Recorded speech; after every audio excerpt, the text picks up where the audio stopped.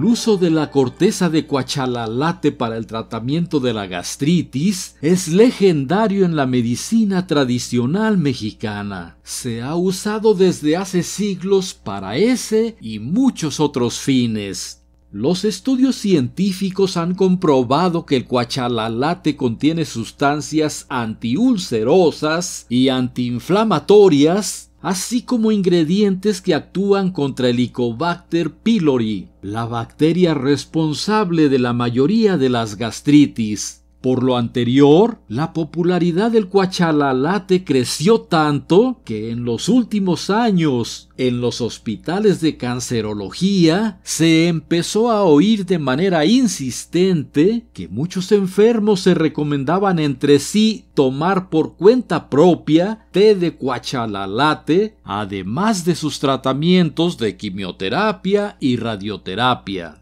El uso de este remedio por parte de los enfermos oncológicos se fue haciendo tan frecuente que algunas organizaciones científicas prestigiosas entre las que destacan la Universidad Nacional Autónoma de México y el Centro de Investigación y Estudios Avanzados del Instituto Politécnico Nacional, empezaron a estudiar el cuachalalate con el propósito de saber si no resultaba nocivo para los pacientes con cáncer en tratamiento médico. Para su sorpresa, hallaron que el cuachalalate no interfiere negativamente con el tratamiento oncológico, sino que, por el contrario, provoca la muerte de las células tumorales y estimula al sistema inmunológico para atacar con más eficiencia distintos tipos de cáncer.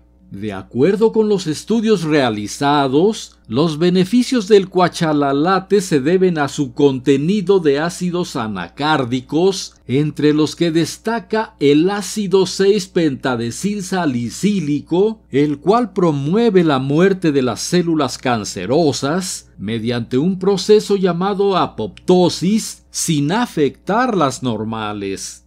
Asimismo, se encontró que, a diferencia de los fármacos quimioterápicos, el cuachalalate no resulta tóxico para el sistema inmunológico, por lo que no se presentan cambios significativos como, por ejemplo, respuestas inflamatorias o alérgicas, de modo que se le considera un remedio seguro.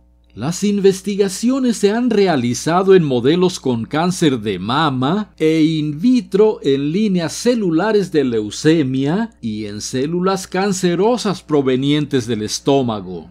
También se realizaron estudios en donde se combinó el ácido 6-pentadecil salicílico del cuachalalate con otros neoplásicos y como resultado se observó una reducción en la toxicidad de la quimioterapia y la misma eficiencia farmacológica en cuanto a la reducción del tumor. Además, en los estudios se usó este ácido junto con algunos fármacos quimioterápicos frecuentes en la clínica, tales como carboplatino, cisplatino, paclitaxel y 5-fluorouracilo, y los investigadores encontraron una sinergia importante con el carboplatino para reducir más eficientemente los tumores de mama. En la actualidad, las investigaciones se encuentran en pruebas preclínicas en las que se usan los ácidos anacárdicos del cuachalalate conjuntamente con otros antineoplásicos clásicos que se emplean en la clínica.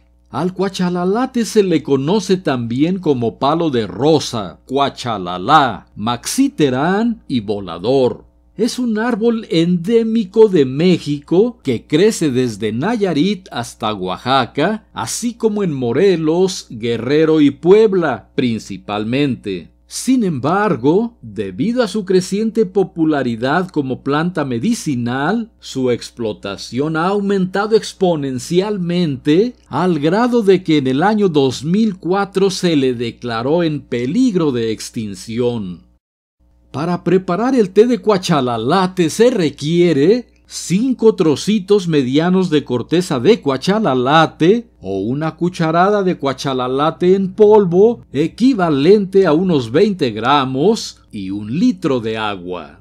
El cuachalalate se pone en el agua y la preparación se deja hervir a fuego lento durante 3 a 5 minutos. Después se retira del fuego, se deja entibiar, se pasa por un colador y listo. Se puede beber tibio como té o frío como agua de uso durante el día. Otra modalidad de este remedio consiste en agregarle cancerina, planta a la que también se le atribuyen propiedades anticancerosas, pero de la cual no hay muchos estudios científicos. Esta combinación es muy popular, tal vez porque el nombre de la planta se asemeja al de la enfermedad para la cual se toma. En caso de usarla, a la fórmula anterior simplemente se le agrega una cucharada de corteza de raíz de cancerina. Además, existe otra receta que es la clásica en el tratamiento de la gastritis, en la que se agrega tlachichinole a la fórmula anterior, en cuyo caso los ingredientes son 5 trocitos medianos de corteza de cuachalalate o una cucharada de cuachalalate en polvo, una cucharada de corteza de raíz de cancerina, una cucharada de hojas secas de tlachichinole y un litro de agua.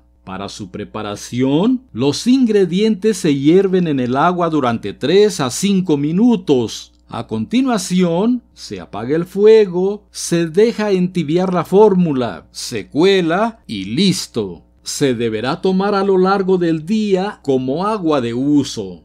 Cualquiera que sea la fórmula elegida, el modo tradicional de su administración consiste en tomarla dos semanas continuas y suspenderla una semana, durante el tiempo que sea necesario. Por precaución, su uso se desaconseja en mujeres embarazadas o en fase de lactancia, en pacientes pediátricos y en quienes estén tomando anticoagulantes orales. Importante, como todo proceso científico, las investigaciones respecto de la efectividad del cuachalalate en el tratamiento del cáncer seguirán su curso con base en los protocolos médicos actuales y se espera que en un futuro próximo se descubra con toda exactitud la función que éste podría tener en la práctica médica. Entre tanto, se recomienda que los pacientes que se hallan en tratamiento médico oncológico lo continúen formalmente, pero sabiendo por la experiencia de los años y los estudios actuales que el cuachalalate no es nocivo para la salud, sí se puede tomar como un recurso complementario.